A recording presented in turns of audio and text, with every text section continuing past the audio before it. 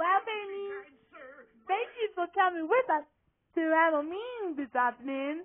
I love your song, and I and I think the kids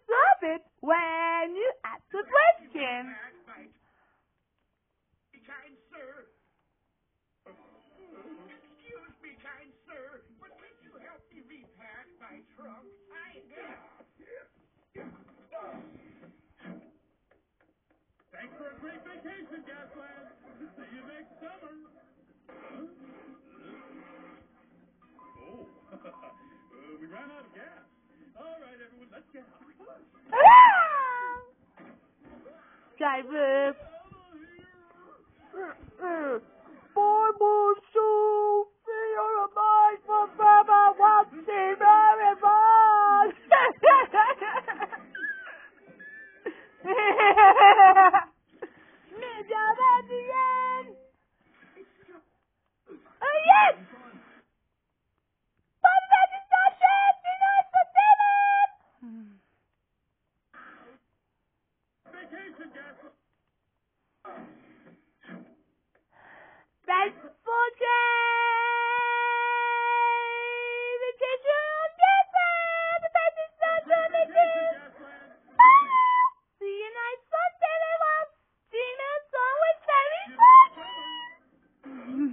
Get me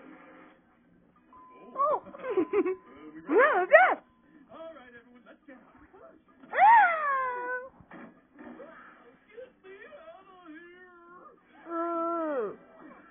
Boy, Marshall, the noise for seven was Gina ah. the Council was very fortune!